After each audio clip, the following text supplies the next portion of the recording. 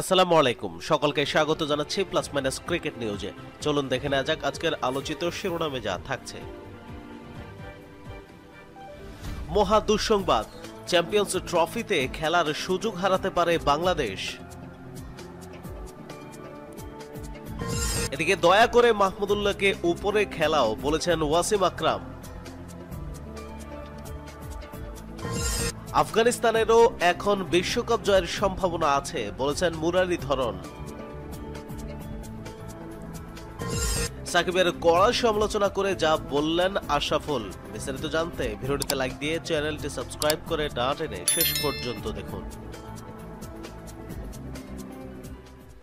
বিশ্বকাপে একের পর এক ম্যাচে হেরেই চলেছে বাংলাদেশ। যাচ্ছে তাই পারফরমেন্সে বিশ্বকাপে ভরা ডুপির পর এবার দু হাজার পঁচিশ সালের চ্যাম্পিয়ন্স ট্রফিতে খেলার যোগ্যতা অর্জন নিয়েও শঙ্কা জেগেছে। বিশ্বকাপে ভালো করতে না পারলে চ্যাম্পিয়ন্স ট্রফিতে নাও খেলা হতে পারে বাংলাদেশের। দু হাজার পঁচিশ সালে চ্যাম্পিয়ন্স ট্রফির পরবর্তী আসর অনুষ্ঠিত হতে যাচ্ছে পাকিস্তানে। সেই আসরে কোয়ালিফাই করার জন্য চলতি বিশ্বকাপের পয়েন্ট টেবিলে অন্তত আট নম্বরের মধ্যে থাকতে হবে বাংলাদেশকে। যদি আয়োজক পাকিস্তান আট এর বাইরে চলে যায়, সেক্ষেত্রে শীর্ষ সাত দল এবং পাকিস্তান মিলে মোট আট দল খেলবে আইসিসির চ্যাম্পিয়ন্স ট্রফির পরবর্তী আসরে। বিশ্বকাপে ব্যর্থতার ষোলো কলা পূর্ণ করা বাংলাদেশ বর্তমানে অবস্থান করছে পয়েন্ট টেবিলের নয় নম্বরে। টাইগারদের নিচে রয়েছে শুধু বিশ্ব চ্যাম্পিয়ন ইংল্যান্ড।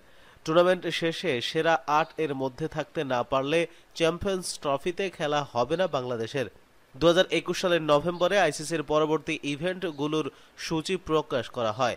তখনই দুহাজার পঁচিশ সালের চ্যাম্পিয়ন্স ট্রফিতে কোয়ালিফাই করার ব্যাপারে বিশ্বকাপের সেরা সাত দলের সাথে আয়োজক দেশের খেলার বিষয়টি নিশ্চিত করা হয়। আইসিসি বোর্ড এই ব্যাপারে অনুমোদনও দেয়। ক্রিকেটের জনপ্রিয় ওয়েবসাইট ইএসপিএন ক্রিক ইনফোকে এ ব্যাপারে নিশ্চিত করেছে আইসিসির একজন কর্মকর্তা।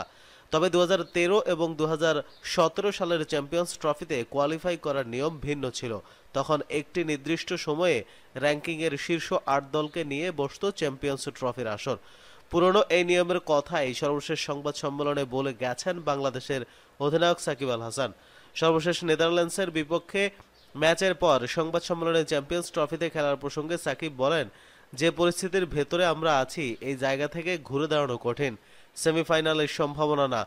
অন্তত আরেকটু ভালো করার। চ্যাম্পিয়ন্স ট্রফি যদি খেলতে হয়, র্যাঙ্কিংয়ে আটের মধ্যে থাকতে হবে। কঠিন হবে, তবে খেলা শেষ হওয়ার আগ পর্যন্ত কিছু বলা সম্ভব না। পনেরো জনকেই চেষ্টা করতে হবে। চেষ্টা করা ছাড়া উপায় নেই। সাকিবের বলা কথা কার্যকর নয় দু চ্যাম্পিয়ন্স ট্রফির ক্ষেত্রে। ফলে যা করার চলতি বিশ্বকাপেই করে দেখাতে হবে বাংলাদেশকে। অন্যথায় নয় বা দশ নম্বরে থেকে বিশ্বকাপ শেষ করলে খেলা হবে না চ্যাম্পিয়ন্স ট্রফিতেও। এদিকে দয়া করে মাহমুদুল্লাহকে উপরে খেলাও, বলেছেন পাকিস্তানের কিংবদন্তি বোলার ওয়াসিম আকরাম। চরম ব্যর্থতায় ভরা এক বিশ্বকাপ কাটাচ্ছে বাংলাদেশ। সর্বশেষ নেদারল্যান্ডসের কাছে হেরে যেন সেই ব্যর্থতার ষোলো কলা পূর্ণ করেছে টাইগাররা। বিশ্বকাপে এমন ভরাডুবির ফলে স্বাভাবিকভাবেই দলের পারফরমেন্স নিয়ে চলছে তুমুল সমালোচনা। বিশ্বকাপ জুড়েই বাংলাদেশের ব্যাটিং অর্ডার এলোমেলো ছিল। মেহেদি হাসান মিরাজকে কখনো খেলানো হয়েছে তিনে, কখনো সাতে, কখনো চারে, আবার কখনো পাঁচে নামানো হয়েছে। ফলে মুশফিকুর রহিম বা মাহমুদুল্লাহ রিয়াদের মতো অভিজ্ঞ ক্রিকেটারদের ব্যাট করানো হয়েছে নিজের দিকে। কিন্তু এই হতাশাজনক বিশ্বকাপে বাংলাদেশের হয়ে একমাত্র সেঞ্চুরিটি হাঁকিয়েছেন সেই রিয়াদি। মুশফিক খুব আহামরি কিছু না করতে পারলেও অতটা ব্যর্থও ছিলেন না। মাহমুদুল্লাহকে উপরে খেলানোর ব্যাপারে আগেও কথা বলেছিলেন পাকিস্তানের কিংবদন্তি পেসার ওয়াসিম আকরাম। এবার নেদারল্যান্ডসের কাছে সাতাশি রানে হারার পর আবারও মাহমুদুল্লাহকে ওপরে ব্যাট করানোর কথা বলে টিম ম্যানেজমেন্টকে অনুরোধ করেছেন ওয়াসিম। পাকিস্তানের একটি টিভি চ্যানেলের অনুষ্ঠানে ওয়াসিম বলেন, দয়া করে মাহমুদুল্লাহকে উপরে খেলাও। যখন আপনার মিডল অর্ডার ব্যর্থ হচ্ছে, তখন প্রধান ব্যাটারকে চারে অথবা পাঁচে খেলান। জানি না টিম ম্যানেজমেন্ট কি ভাবছে। কেন মাহমুদুল্লাহ সাত নম্বরে? আশা করি কেউ এর কারণটা আমাকে ব্যাখ্যা করবে। যদি তিন উইকেট চলে যায়, মাহমুদুল্লাহকে পাঠাও। সে এক প্রান্ত আটকে দেবে। বিশ্বকাপের আগে দেশের ক্রিকেটে বেশ কিছু বিষয়ে জল খোলা হয়েছে। তামিম ইকবালের দলে না থাকা, না অনেক আলোচনার সমালোচনা হয়েছে। সেই বিতর্কের আগুনে ঘি ঢেলেছেন বিশ্বকাপের উদ্দেশ্যে ভারতে যাওয়ার আগে দেওয়া সাকিবের সাক্ষাৎকার। সবকিছু মিলিয়ে টালমাটাল এক অবস্থায় বিশ্বকাপে খেলতে গেছে বাংলাদেশ দল।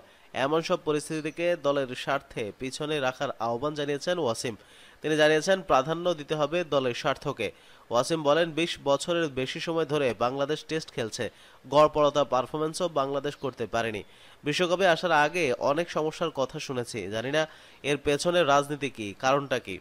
দেশকে রাখতে হবে সবার আগে, ব্যক্তিগত পছন্দ, অপছন্দ আর নিজেদের মধ্যে দূরত্ব থাকতে পারে।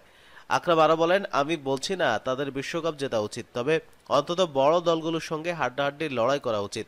নতুন ব্যাটার খুঁজতে হবে। সবাই বসে সিদ্ধান্ত নেওয়া উচিত। কীভাবে প্রথম শ্রেণির ক্রিকেট হবে? কোন উইকেট হবে? বিশ্বকাপের পয়েন্ট টেবিলে বর্তমানে বাংলাদেশের অবস্থান নয় নম্বরে। পরবর্তী ম্যাচে টাইগারদের প্রতিপক্ষ পাকিস্তান। আগামী একত্রিশ অক্টোবর কলকাতার ইডেন্স গার্ডেন্সে বাংলাদেশ সময় দুপুর আড়াইটায় মাঠে গড়াবে খেলা। এদিকে আফগানিস্তানেরও এখন বিশ্বকাপ জয়ের সম্ভাবনা আছে, বলেছেন মুক্তিয়া মুরলীধরন বিশ্বকাপে যেন উঠছে আফগানিস্তান, ইংল্যান্ডকে হারানোর পর পাকিস্তানকে হারিয়ে ইতিহাস সৃষ্টি করেছে তারা। পাঁচ ম্যাচের দুটিতে জিতে বেশ ভালো অবস্থানে রয়েছে তারা। বাকি চার ম্যাচে জয় পেলে সুযোগ থাকবে সেমিফাইনালে যাওয়ার। সেখানে যে কোনো কিছুই ঘটাতে পারে। আফগানিস্তানের প্রতিভার প্রশংসা বিশ্বজুড়ে। এবার তাদের প্রতিভারই প্রশংসা করলেন লঙ্কান কিংবদন্তি বোলার মুক্তিয়া মুরলীধরন ত্রিশ অক্টোবর আফগানদের বিপক্ষে মাঠে নামবে শ্রীলঙ্কা। সেই ম্যাচের আগে আইসিসির ব্র্যান্ড অ্যাম্বাসাডর মুরলীধরন বলেন, নেদারল্যান্ডসই কেবল বিশ্বকাপে টেস্ট স্ট্যাটাসের বাইরের দল। আফগানিস্তানের যে প্রতিভা আছে, তারা বিশ্বকাপেও জিততে পারে। তারা যেভাবে খেলছে, সেটা সবাইকে অবাক করছে না। তবে নেদারল্যান্ডসের এত ভালো খেলাতে কিছুটা অবাক হয়েছেন মুরলীধরন। তিনি বলেন, নেদারল্যান্ডসের খেলা আমাদেরকে অবাক করেছে। তারা এই বিশ্বকাপে বড় দুটি দলকে হারিয়েছে, যারা যে কোনো পিচে ভালো খেলতে পারছে।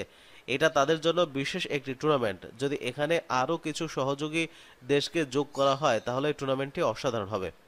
আফগানিস্তান উনিশশো ছিয়ানব্বই সালের শ্রীলঙ্কার মতো বিশ্বকাপ জয় করতে পারবে কিনা, এমন প্রশ্নের জবাবে মুরলী বলেন, তাদের সময়ের অন্যতম সেরা বোলিং লাইন রয়েছে যেখানে আছে চার স্পিনার ফারুকি অনেক দক্ষতা সম্পন্ন বোলার যে আইপিএলে খেলছে। তাদের ব্যাটিং লাইন আপও শক্তিশালী। তারা আক্রমণাত্মক ক্রিকেট খেলছে, যা আমরা উনিশশো ছিয়ানব্বই সালের বিশ্বকাপে খেলছিলাম। এদিকে সাকিবের কড়া সমালোচনা করে মন্তব্য করেছেন মোহাম্মদ আশরাফুল। ভারতে চলমান ওয়ানডে বিশ্বকাপে বাজে সময় পার করছে বাংলাদেশ দল। ইতোমধ্যে ছটি ম্যাচে মাঠে নেমে কেবল একটিতে জয় পেয়েছে টাইগাররা। দলের এমন করুণ অবস্থায় তীব্র সমালোচনা হচ্ছে অধিনায়ক সাকিব আল হাসানের। এবার টাইগার অধিনায়কের কড়া সমালোচনা করেছেন জাতীয় দলের সাবেক তারকা ক্রিকেটার মোহাম্মদ আশরাফুল। বিশ্বকাপের আগেই টাইগার পোস্টার বয় সাকিব জানিয়েছেন, বিশ্বকাপের পর আর অধিনায়কের দায়িত্ব পালন করবেন না তিনি। আশাফুল মনে করেন এরকম মানসিকতা নিয়ে যে অধিনায়কে আসে, তার কাছ থেকে সৎ পরিকল্পনা আশা করা যায় না। দেশের শীর্ষ একটি গণমাধ্যমকে দেওয়া সাক্ষাৎকারে আশরাফুল বলেন, সাকিব বিশ্বকাপ খেলতে আসার আগে দেওয়া সাক্ষাৎকারে বলছে, বারো নভেম্বর থেকে আর অধিনায়ক থাকবে না। এরকম মানসিকতা নিয়ে যে বিশ্বকাপে খেলতে আসে, তার কাছ থেকেও সৎ পরিকল্পনা আশা করা যায় না। চলমান বিশ্বকাপে বাংলাদেশ দল ব্যাটিং কিংবা বোলিং দুই ডিপার্টমেন্টেই ব্যর্থতার পরিচয় দিয়েছে। এর দায় সাকিবের কাঁধেই বর্তায় কিনা এমন প্রশ্ন করা হয় আশাফুলের কাছে। এর জবাবে টেস্টে সর্বকনিষ্ঠ সেঞ্চুরিয়ান বলেন, আমি যা যা শুনেছি, সেরকম হলে তো দায়টা অবশ্যই ওর। বিশ্বকাপে বাংলাদেশের ইনিংসের শুরুতে রান এনে দিতে পারেনি ওপেনাররা। দলে অভিজ্ঞ ওপেনারের প্রয়োজন ছিল বলেও মনে করেন আশরাফুল তামিমের পরিবর্তে প্রয়োজনে ইমরুল কায়েসকে দলে রাখা যেত বলে মন্তব্য করেন তিনি। আশাফুল বলেন, বিশ্বকাপে তামিমকে আনার দরকার ছিল। ওকে যেহেতু আনা যায়নি, ওর জায়গায় ইমরুল কায়েসের মতো কাউকে হলেও দরকার ছিল। তিনটি বিশ্বকাপ খেলছে সে এখনও ঘরোয়া ক্রিকেটে রান করে। ইমরুল থাকলে আমি নিশ্চিত ওপেনিংয়ে এত খারাপ অবস্থা হতো না। প্রিয় দর্শক, এই নিউজগুলো সম্পর্কে আপনাদের মন্তব্য কমেন্ট করে জানিয়ে দিন এবং প্রতিদিন ক্রিকেটের খবর সবার আগে পেতে প্লাস মাইনাস চ্যানেলটি সাবস্ক্রাইব করে পাশে থাকা বেল আইকনটি প্রেস করে রাখুন। ধন্যবাদ সবাইকে।